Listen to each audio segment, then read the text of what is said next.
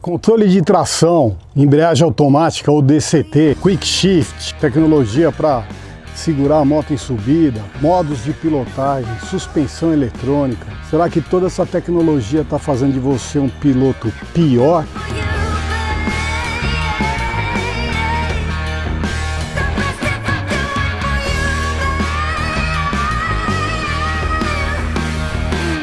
Vocês lembram antigamente, ou quem não lembra, mas já deve ter ouvido falar, você tinha que trocar a marcha da moto na mão, ajustar o tempo de ignição, adiantando e atrasando enquanto estava dirigindo a moto para acertar a ignição dela corretamente.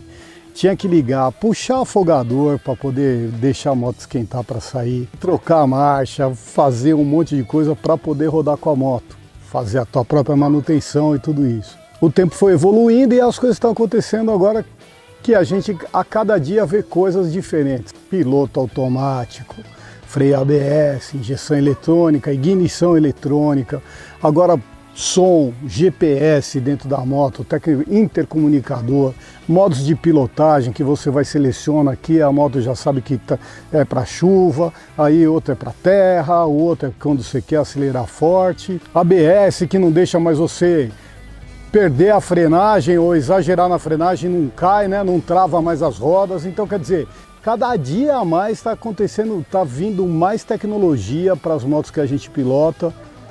E isso será que está fazendo a gente pior piloto?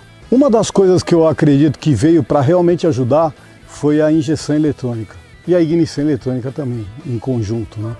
Pô, esses dois fatores aí melhoraram muito a vida do motociclista, que não se preocupa mais se está em altitude, eh, que altitude que ele está, para ajustar a mistura da moto, ou qual o tipo de combustível que ele colocou, porque os postos de gasolina a gente nem sempre se são, sabe se são confiáveis ou não. E a injeção eletrônica acaba acertando essa mistura para que a gente não sofra nenhuma perda de performance enquanto está tocando a moto. Então, quer dizer, a injeção eletrônica acaba sendo um, um belo auxiliar na tecnologia. Aí vem um monte de outras coisas, né, cara? Pô, eu fico perguntando, pô, o cara compra uma moto e fala, pô, vou ser o piloto de moto, vou pilotar minha moto. E nessas de falar que vai pilotar a moto, ele pega a moto dele, bom, vou sair, ah, hoje tá chovendo, né? Modo de chuva. Ah, a suspensão hoje tem que estar tá, suspensão já ajustada para modo de chuva. ABS está ok, injeção eletrônica está ok, a moto está toda preparadinha. E aí, você vai pilotar, não precisa trocar marcha, então quer dizer, você perde aquela sintonia com o motor da tua moto, porque ela vai trocar marcha na hora que ela acha certo e vai baixar marcha na hora que ela acha certo, de acordo com o mapeamento que você fez de tecnologia, ela vai fazer tudo direitinho para você. Então daqui a pouco você vai ser só um operador de tablet, de programação da moto, vai programar a moto para o teu roteiro. Daqui a pouco você vai colocar o roteiro da tua moto, eu quero ir lá para Atacama. A moto vai começar a falar, não, não vai por esse trecho, vai por aqui. Você vê a, as motos novas têm até assistência na hora da curva, né? Quando você vai fazer curva, elas se acertam. Eu tive uma impressão louca quando fui pilotar uma GS 1250 que eu entrei na curva um pouco forte e a moto começou a se fazer barulho aqui e ali, ela toda se acertando no meio da curva. Cara, tá muita tecnologia. Será que isso aí vai fazer a gente perder aquela mãozinha, né? O ajuste de tração que a gente costumava ter, que a gente tem, né? Ainda na mão. O que a gente pode falar já logo de cara é o seguinte: até nas, nas competições de moto velocidade, as motos estão vindo com tecnologia. Assistente na hora de acelerar, de dar largada, assistente de tração, né? controle de tração.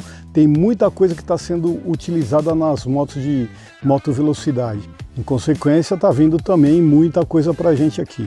Numa opinião bem raiz, eu falo, nós vamos nos tornar piores pilotos no que se refere da integração homem-máquina, porque a máquina cada vez mais está se resolvendo sozinha e o homem vai acabar deixando a máquina se resolver e acertar a gente. Então, quer dizer, nós não vamos ser os, domina os dominantes e vamos ser os dominados, né? Porque a moto vai falar, ó, você tem que fazer assim e é assim e acabou. Em contrapartida, vai estar tá ajudando muita gente que não tem uma capacidade boa de pilotagem ou então está em fase de aprendizado ainda, vai conseguir pilotar motos maiores com mais segurança. Mas a gente vai com certeza perder aquele, sabe, cheirinho da moto, ó, o barulhinho dela, olha aqui, ó, a moto tá gritando, hora de passar a marcha, não, vamos baixar uma, sabe aquela coisa? Pô, o ABS já fez isso com muita gente, né, sei, então é muito seguro, não vou negar. A gente vai perder muito da nossa sensibilidade, da capacidade nossa de entender a moto de uma maneira geral. E de entender a moto, inclusive em, em pilotagem, em questão de estrada, em outras coisas, a gente vai perder essa sensibilidade com a moto. E em contrapartida, vai ajudar muita gente que está iniciando no mundo de motocicletas e está iniciando no motociclismo a poder cada vez mais montar motos grandes e aventurar por terrenos cada vez mais avançados. E importante, numa questão de uma viagem, o seu rolê vai ser muito mais prazeroso com toda essa tecnologia, porque você vai se preocupar muito menos com a, com a pilotagem da moto e vai poder curtir mais a viagem. Você vai poder também se preocupar muito mais com a condição de tráfego e de trânsito, porque a moto está fazendo as coisas dela sozinha. E sabe que uma hora que você precisar dar uma freada, ela vai corresponder. A hora que você precisar dar uma acelerada, independente do piso estar tá seco ou molhado, ela vai corresponder. Mas a gente vai perder muito da mão, daquele toque, daquele sentimento com a moto, né? E você, o que, que você acha, cara? Você é a favor da tecnologia? A tecnologia vai fazer de você um, um piloto pior ou um piloto menos sensível ou menos integrado com a máquina? Comenta aí que eu gostaria muito de saber. Ainda mais o pessoal das antigas eu sei mais ou menos, mas essa galera nova que está começando, o que, que você acha? A tecnologia veio para ajudar mesmo ou veio para fazer você um piloto menos capacitado para situações onde a mão e a sensibilidade de quem toca mesmo é, são requeridas? Comenta aí, cara. Meu nome é Flávio Terra, aqui é o canal Los Condes. Se você curtiu, não esquece de deixar o thumbs up aí, deixar o like, né, o dedãozinho para cima e considere se inscrever no nosso canal. Beleza? Valeu aí, galera. Até a próxima aí. Siga Los Condes.